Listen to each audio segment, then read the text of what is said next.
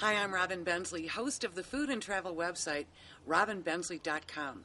Naturalist John Muir said that this is the most beautiful place he had ever seen. Welcome to Yosemite National Park.